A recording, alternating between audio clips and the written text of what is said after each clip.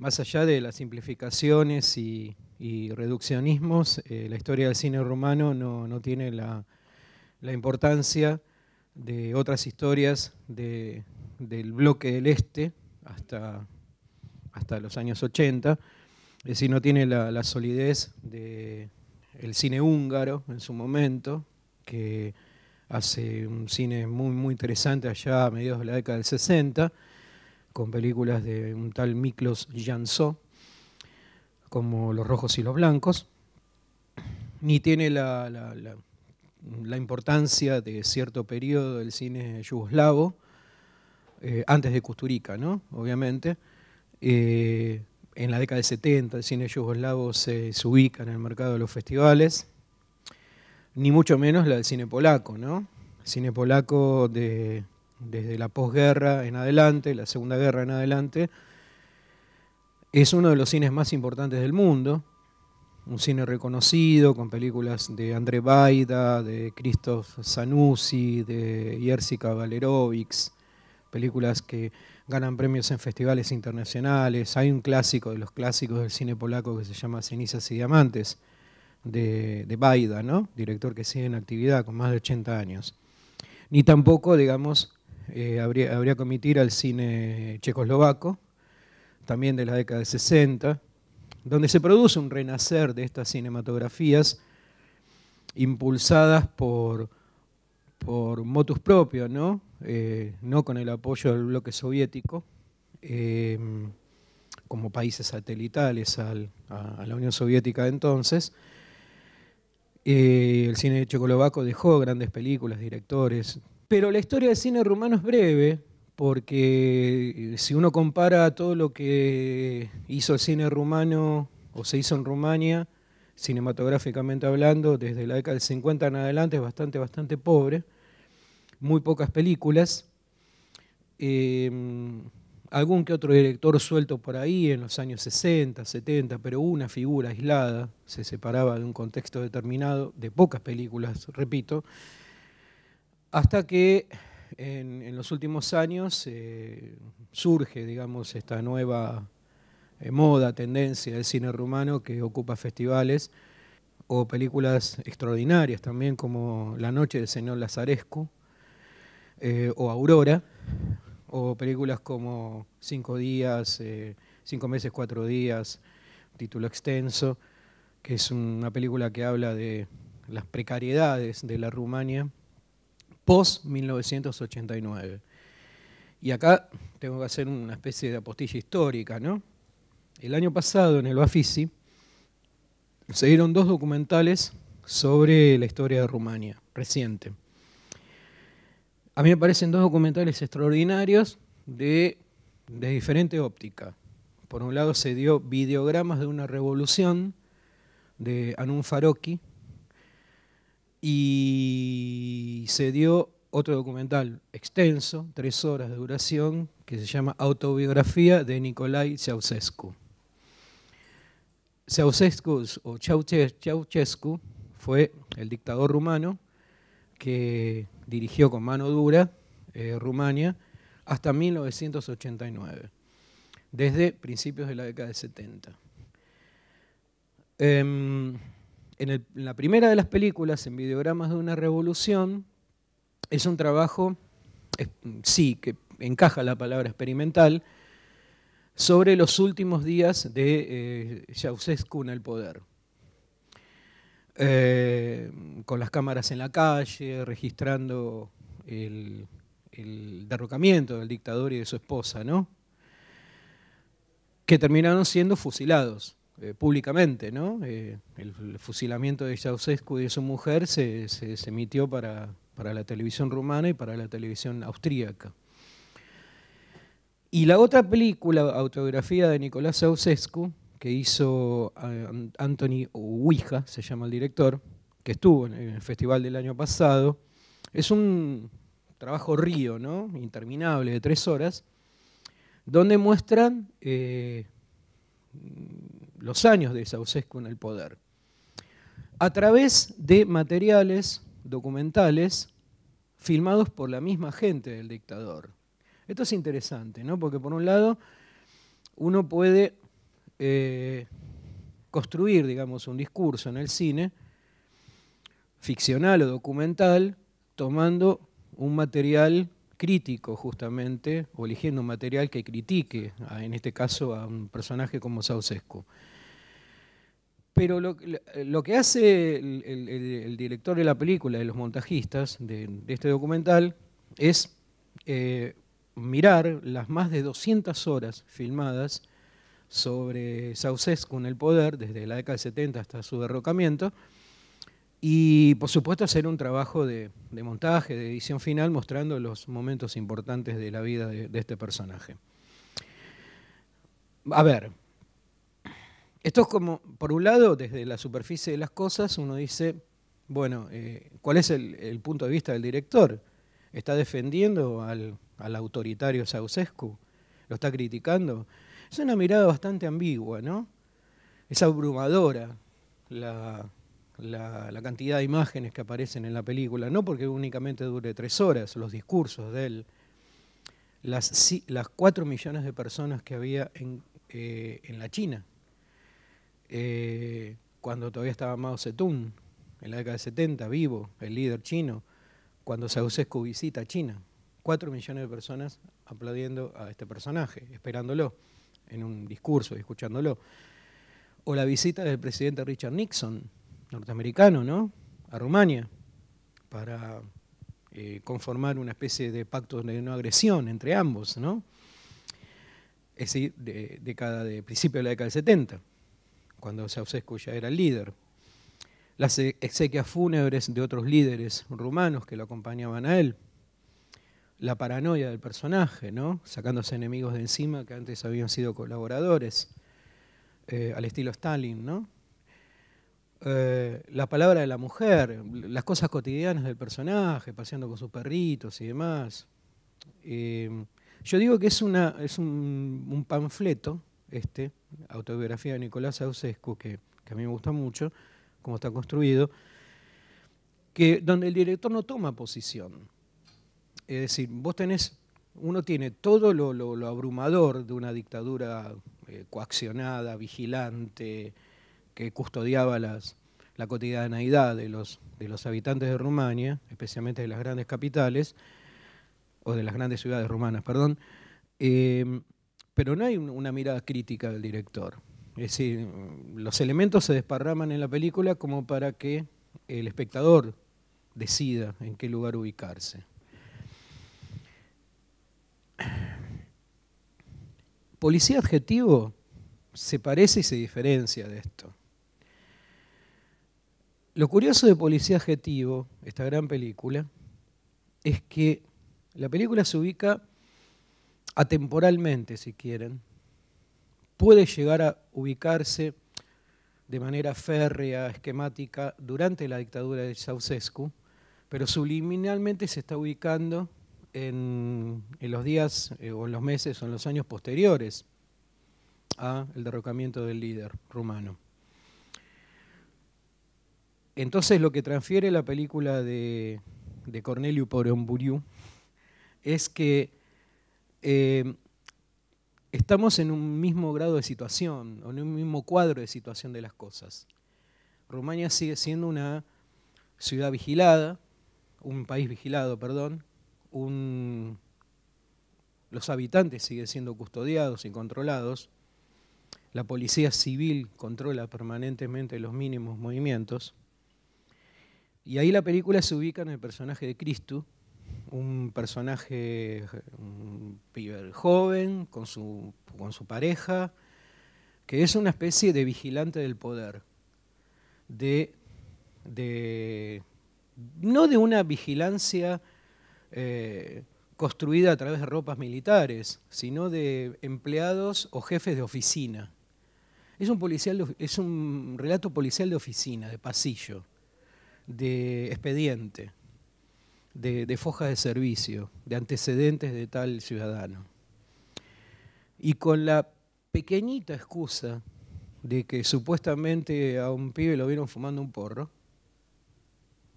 eh, desde ahí se empieza a, construir la historia. Eh, ese chico es eh, es tensionado, es puesto en tensión desde la mirada del joven vigilante civil y desde la autoridad a la que representa el joven vigilante, es decir, a sus, superiores. Es curioso esto, porque fíjense que se habla de un estado de las cosas sin mostrarlo de manera cruda, sino desde lo cotidiano. Y eso en gran parte eh, es un, vericueto temático y al mismo tiempo un aspecto formal que caracteriza el cine rumano de los últimos años. No hay relatos históricos importantes sobre la dictadura derrocada, sí desde el documental, pero no desde la ficción, a eso vamos. Son historias cotidianas, tenidas unas más que otras de un humor sórdido, gris. No quiero decir melancólico, porque no se está mirando para atrás, no se está añorando una época mejor, la de la dictadura, sino que todo es muy gris, todo muy pesado, farragoso. Em, todo es eh, demasiado excesivamente construido en ese país, vigilado, digamos, por, por estos policías civiles. Em, me acuerdo ahora de La Noche del Señor Lazarescu, de Cristo Piu, que es una película extraordinaria de dos horas veinte de duración, donde un personaje está quejado físicamente por una dolencia, y toda la película, el señor Lazarescu, busca un lugar donde la atiendan, un sanatorio. Y algo falta en tal sanatorio, algo falta en tal lugar y no tiene nadie a su alrededor, eh, y después lo va a ayudar una mujer, pero esa mujer tiene sus problemas. Es un, relato, por momentos dignamente kafkiano, sobre un mundo sin salida, ¿no? sobre las precariedades de una sociedad. Todo conformado ese relato desde el, pobre viejo, el señor Lazarescu, que, que tiene molestias, tiene molestias tal, vez coronarias, pero nadie lo puede atender. Es todo el vía crucis del personaje. Lo mismo este director, el de Lazarescu, hizo una película que nombré hace un ratito, creo, llamada Aurora, que se dio el año pasado en el Bafisi, que también es una película larga, donde él también es el actor principal, y es un personaje que va recorriendo esas calles grises, sin vida, donde supuestamente sale muy poco el sol, o, se ilumina poco esa calle, y vive con su mujer, pero al mismo tiempo no le habla, y poco a poco va adentrándose en, en, la posibilidad de comprar una escopeta y empezar a matar gente. Es decir, este es el mundo de post-Ceausescu, del que cuentan estas películas. En cambio, Bucarest 1208 que es de este director, de Policía Adjetivo, que es la anterior, que es la película que reimpulsó al cine rumano en el mundo.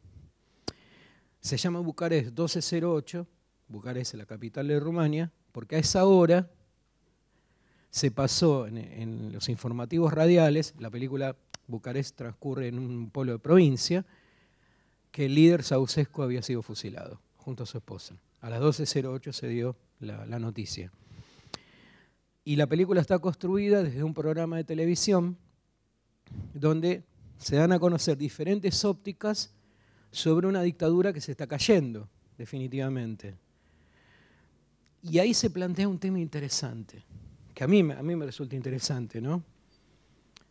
Si el, derrocamiento de Ceausescu fue una auténtica revolución civil o un golpe de Estado militar. Y ese es el planteo, el enigma de la sociedad rumana, que lo plantea de manera muy irónica Bucarest 12.08. Policía adjetivo no tiene humor, o tiene muy poco humor, porque donde trabaja Cristo está visto como un, lugar por el que le pagan el suelo por vigilar a la gente, especialmente a este chico. Cristo está como interrogándose sin explicitarlo, y esa es una de las virtudes de la película, eh, ¿qué hace en ese lugar trabajando? si se va a transformar a futuro en un delator de gente, ¿no? Ojo, no es que él condene el trabajo que está haciendo. Es un trabajo confiable para él y lo sabe hacer. En todo caso, empieza a plantearse una serie de enigmas cuando empieza a ser también él mismo presionado por el poder, porque él también es vigilado por el poder, todos están vigilados y custodiados en esta película. Y hay una escena clave que está en la mitad de la película, que es la conversación que él tiene con su, con su pareja, con su chica. La chica le va a entender que le encanta un tema musical. Un tema musical con un estribillo, creo que italiano es el tema. Y, y ya ahí se establece una especie de debate dialéctico sobre dónde debe ir, cómo debe eh, conformarse una oración y qué sentido o qué significado adquiere una misma oración si le cambiamos una letra o una palabra. Uno dice, ¿qué están discutiendo estos? Sí, están discutiendo el poder de la palabra y cómo a través de la sustitución de una palabra la oración dispara para otro lado o dispara hacia la sospecha de él en relación a su novia. Cristo cree que su novia está enamorada del cantante, al que no conoce. Es decir, pero no le permite en todo caso pensar en esa canción que habla del amor. La última media hora es mucho más hablada que toda la, todo, el resto ¿no? de la película, que, ya se vio lógicamente. Y hay que llegar al gran, al gran señor, que es un tipo con corbata, con, en camisa, con un escritorio pelado, con pocas cosas, y va a convocar a él y al otro compañero de trabajo, el más timorato, el más eh, complaciente con, con sus superiores. Y ahí se va a establecer un extenso debate dialéctico sobre las palabras ética, compromiso, lealtad. Eh, provisto el gran jefe por un diccionario. Como lo que está registrado en un diccionario puede tener otro significado, de acuerdo a cómo lo puede manejar el poder. Y es insoportable de ver la última media hora. Porque da la impresión de que en cualquier momento va a estallar el tipo este. En ningún momento eleva el tono de voz. Le va a decir, escribí en la pizarra tal cosa. Bueno, ¿qué quiere decir esa palabra? Ética. Bueno, busca ética en el diccionario a ver qué quiere decir. Todo esto previo, o previamente ocurre, eh, a todo esto ocurre previamente, la espera. Cuando, cuando lleguen a la escena donde Cristo está en el despacho previo, en el lugar, la antesala, el despacho del jefe, van a ver a la secretaria al personaje principal y al amigo, al, compañero de trabajo, esperando. Los tiempos muertos en el cine. No se escucha nada. Cuando suena el, teléfono del jefe que llama a la, a la, a la secretaria, eh, da la impresión de que explota una bomba molotov ahí. Y, suena un teléfono nada más. Es todo incómodo de ver en Policía Adjetivo. Y veremos si triunfa el gran poder o se triunfa el poder de los ciudadanos, ¿no? Em, miren, el cine rumano, y acá termino, no produce mucho cine. ¿Saben cuántas salas hay en Rumania? Por lo menos un dato hasta 2008, 2009, está bien, han pasado tres años. 250 salas nada más. Y la producción anual son 20 películas, nada. Es decir, los directores rumanos, como el director de Policía Adjetivo, el director de, de Lazarescu, no recuperan ni por asomo el costo invertido, el presupuesto invertido en el propio país, eh, sino que dependen, ahí otra vez aparece el mundo de los festivales, ¿no? Eh, dependen de que la película se, se venda al exterior, eh, que sea comprada por la televisión holandesa o por la televisión francesa o tenga repercusión en Inglaterra o mismo en Estados Unidos que se estrenaron estas películas rumanas. Es decir, es un país sin cinematografía. Si 10 películas circulan por los festivales y otras 10 son de consumo interno, eh, de un promedio de 20 o 25 que se hacen, es una cinematografía pequeñita, mm, comparada aún con la cinematografía o la producción anual de, otras, de otros países de, detrás de la cortina, digamos, ¿no? como Hungría, Checoslovaquia, que producen 40, 50 películas por año, muchas de consumo local. Pero bueno, esta moda del cine rumano, toda esta tendencia que hay que ver cine rumano y hacia dónde va el cine rumano ¿Y qué pasará dentro de cinco años con el cine rumano? Si los agentes de festivales se, cansarán del cine rumano y lo reemplazarán por el cine de, de, las Islas Fiji, qué sé yo, para decir algo, eh, que probablemente ocurra, porque siempre en el, mundo de, en el mundo de festivales siempre se sustituye un cine por otro. Eh, es este cine rumano, en efecto, uno de los más importantes del mundo en la actualidad. Más aún, el año pasado en, Mar de Plata, en el festival y mismo en el Bafisi, lo que primero que pregunta la, mm, el grupo cinéfilo argentino, ahí desparramado por el Abasto o en Mar de Plata, es, ¿dan alguna rumana? ¿Cuántas rumanas hay en el festival? Y bueno, hay cinco, y es bastante el 25% de la producción estaba presente en un festival. Bueno, Policía Adjetivo es, es una de esas películas eh, incómodas de ver, pero placenteras de disfrutar desde el lenguaje del cine, ¿no? Donde el, el poder del Estado, que coacciona, que reprime, que restringe, que vigila, eh, está en off todo el tiempo. Está fuera de campo, es el que molesta hasta dónde, digamos, Cristo, el personaje, van a ver, es otra víctima más, como el chico sospechado de haber, haberse consumido un porrito. Seguimos la semana que viene.